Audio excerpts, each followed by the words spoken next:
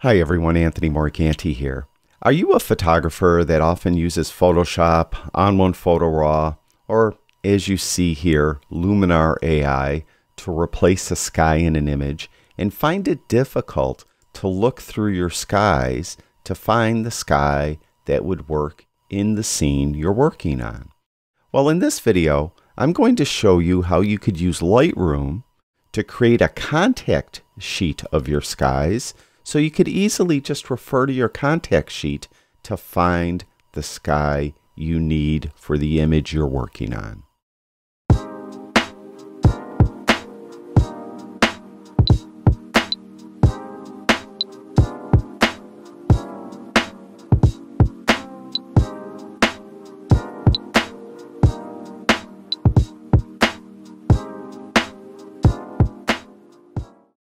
Okay, the first thing you need to do is import those skies into Lightroom.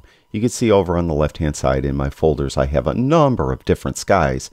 I'm going to be working with what I consider to be the best skies on the market, the OcuDrone skies. You can see I have a number of different OcuDrone skies. I'll have a link to them in the description below this video.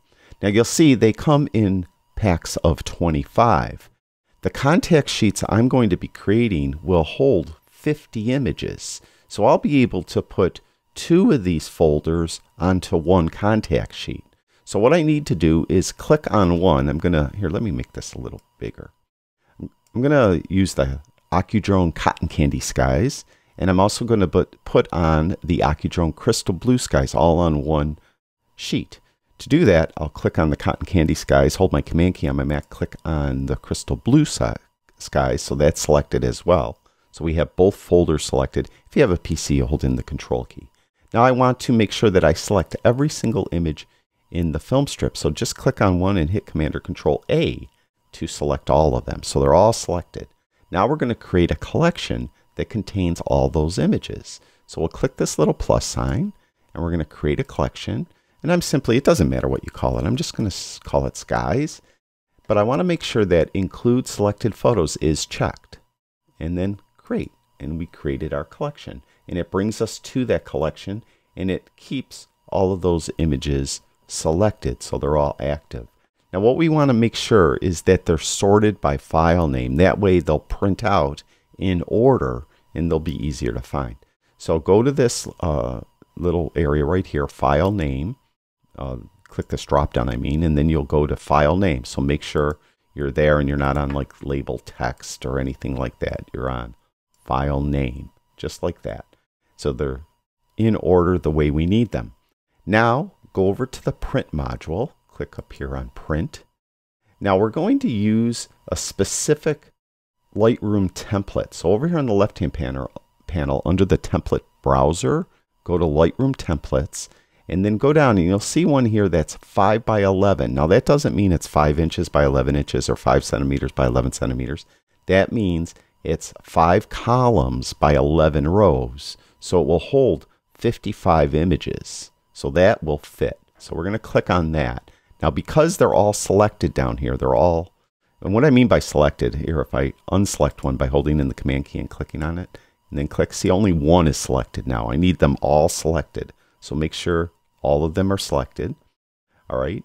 Then when I click on that um, 5 by 11 contact sheet, you'll see that it populates it with all those images. Now we have an extra row down here. Now, of course, I'm working with the OcuDrone images that are in of 25.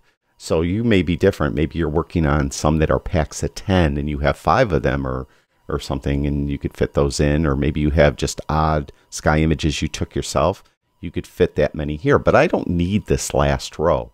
So what I'm going to do is I'm going to go to right here, the page grid, and you can see rows is 11. All I need to do is change that to 10. So I could just move this slider to left, and then you could see it got rid of that last row, and it made them all a little larger. Also, uh, take off show guides. It won't print the guides. Right now you're seeing the guides on this paper, but if I click there, you'll see more of how it's going to be printed. And you could see that the Cotton Candy Sky 01, it has the name underneath it, and so on. That's what that uh, preset did, that template, um, Lightroom template does. it uh, puts the name of the uh, file underneath the sky. So you could get a nice look at what those skies look like and then hopefully uh, bring it over, you know, in front of your image, kind of look at it, say, yeah, that sky will work with this image. And then you could find that same sky in the application you're using, Luminar ON1, Photoshop, or if you're using another application to replace a sky. This will help you a lot. So we're really okay right here. Now what I'm going to do though is I'm going to uh, create my own template for this because I modified it, didn't I? I, I have 10 rows instead of 11.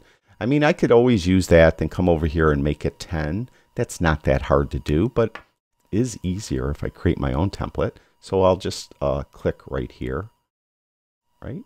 And we're going to call this a 5 by 10, 5x10 contact sheet.